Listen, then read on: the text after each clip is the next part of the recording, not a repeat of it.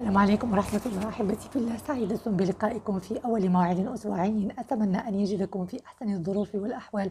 وصل اللهم وسلم على سيد الخلق وأشرف المرسلين. دائما مع فصل الصيف مع الفترة التي بقدر ما هي فترة راحة واستجمام بقدر ما تتأثر البشرة سلبا وتصاب بحروق وتنقلب هذه الحروق إلى تصبغات وهذا المشكل لا يخص النساء فقط وإن كانت وكنا نحن النساء المتضررات المتضررات الأوائل من هذا الفصل. فيديو اليوم يخص النساء بالدرجة الأولى وكذلك الأطفال المراهقين والرجال على حد سواء. نحن كنساء تتغير نفسيتنا بمجرد أن يتغير لون البشرة ويتحول اللون المورد إلى لون أسمر. الأطفال والرجال لا يتأثرون بهذه المسألة لكن عندما يصاب الجلد بحروق فأكيد أن الأمر س آه، يعني سيضر الجميع ويصبح مزعجا للجميع.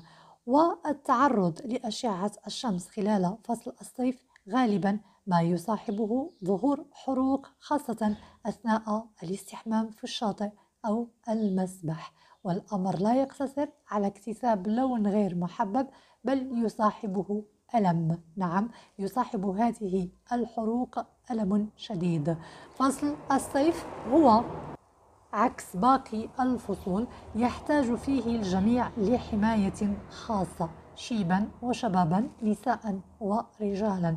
وكذلك يحتاج منا لتدابير جدية صارمة حتى نخرج منه بأقل الأضرار. وتدابيرنا اليوم هي خاصة بجميع الأشخاص الذين سيذهبون في عطلة سواء للبحر أو الجبل. أو حتى سيكثفون من خرجاتهم بشكل يومي وهي تخص جميع أفراد العائلة. فهناك تدابير قبل الإصابة بالحروق وتدابير بعد الإصابة بالحروق الجلدية. لا قدر الله إن أصبنا بها. فأول احتياط هو التوفر على حقيبة يدوية خاصة بكل شخص يعني منا. ثاني احتياط وأول شيء بهذه الحقيبة يجب أن يكون متوفرا بها الواقي الشمسي ويشترط أن يكون شفافا. بالنسبة للرجال فالواقيات الشمسية هي نفسها صالحة لهم جميعها. فقط يجب اختيار النوع الملائم لنوع البشرة. الأطفال يستحب اختيار واقي شمسي على شكل أو على شاكلة حليب وتطبيقه على كامل الجسم آه، طبعا بما في ذلك الوجه. إن لم يتوفر فسنكتفي بالواقي الشمسي للكبار ومحاولة تطبيقه على آه، وجههم وجسمهم ككل.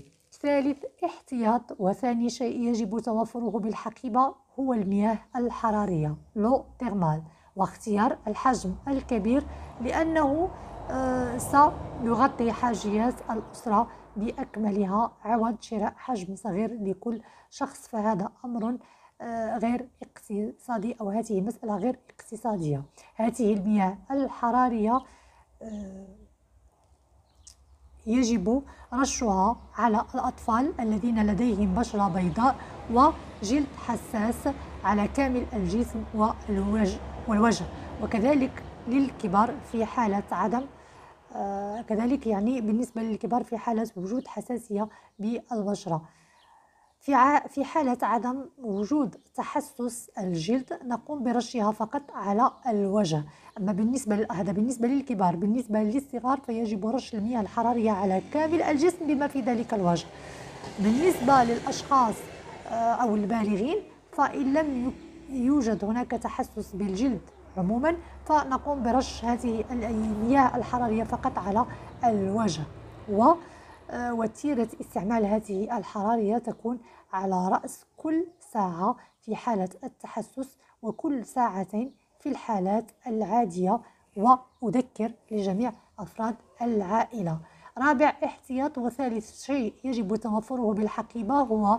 Cicaplast Baume B5 الحجم الكبير الخالية من آه، الحماية. حجم كبير هو حجم اقتصادي ومكونات هذا الحجم أو هذا الشكل يعني ستساعد على التخفيف من حدة الحروق والالتهابات. وفعلا سيكابلاست عن تجارب شخصية وتجارب لزبنائي أثبتت جدارتها وفعاليتها في علاج الالتهابات والاحمرار الناتج عن التعرض لأشعة الشمس والسباحة في آن واحد. من بين أهم الأشياء التي يجب التقيد بها أثناء التعرض المباشر لأشعة الشمس وتفادي حروق الشمس شرب الماء بكميات وفيرة وكافية على مدار اليوم. ارتداء ملابس قطنية من الأحسن اللون الأبيض وتكرار تطبيق الواقي الشمسي كل ساعة كحماية أو لحماية أفضل وبكمية وفيرة. كذلك ارتداء القبعات الشمسية وتفادي التعرض لأشعة الشمس كما أقول دائما أوقات الذروة من الحادية عشر صباحا إلى الرابعة زوالا. هذا بالنسبة للاحتياطات. في حالة ما إذا وقعت حروق لا قدر الله فوقع ما وقع واحترق الجلد أو آه، أول إجراء هو أخذ حمام بماء فاتر بمنظف لا يحتوي على صابون بالمرة وعلى كحول. ونقوم برش الجسم والوجه بالمياه الحرارية ثم تطبيق Cicaplast Baume B5 الحجم الكبير كما ذكرت على الأماكن. فقلت المنظف لا يحتوي على صابون أو كحول. ونقوم برش الجسم والوجه بالمياه الحرارية ثم تنظيف أو تطبيق عفوا Cicaplast على الأماكن المصابة عدة مرات في اليوم بمعدل أربع إلى خمس مرات يوميا. كذلك تفادي الاستحمام في مياه البحر أو الشاطئ لمدة أسبوع بعد الإصابة والإكثار من شرب الماء بالنسبة لنا كنساء. فيجب تفادي استعمال وصفات طبيعية للبشرة. عفوا لمدة شهر شهر بعد الإصابة والاكتفاء بالواقي الشمسي كل ساعة مع تطبيق مكثف لسيكابلاز بامبي 5 الحجم الكبير ورش الوجه بالمياه الحرارية كذلك كل ساعة ووضع قبعة من الأشياء الضرورية لتفادي تفاقم الوضع. والأهم عدم البحث أو الشروع في علاج التصبغات التي نتجت عن الحروق في حينها بواسطة مواد مبيضة بالمرة بل على العكس يجب الاهتمام فقط بالترطيب الجيد والحماية حتى لا يزيد أو لا تزيد الطين بلة. كذلك من الأشياء التي ترهق البشرة وتدمرها خلال فترة الاصطياف تطبيق فيتامين سي والغيتينول كذلك اعتماد مقشرات قاسية واعتماد واقيات شمسية آه، ملونة. كذلك الإكثار من كريمات الأساس. كذلك اعتماد واقيات شمسية بجودة ضئيلة وبعامل حماية أقل من 50 كذلك عدم تجديد الواقي الشمسي عدة مرات باليوم خاصة بعد الاستحمام استحمام إهمال غسل الوجه. بعد العودة للمنزل للتخلص من بقايا آثار الشمس كلها أشياء وعوامل تسبب في تدمير أو تساهم في تدمير البشرة وتثبت التصبغات بشكل مباشر على البشرة. طبعا أحبائي إن التزمتم بهذه التدابير والنصائح كونوا على يقين.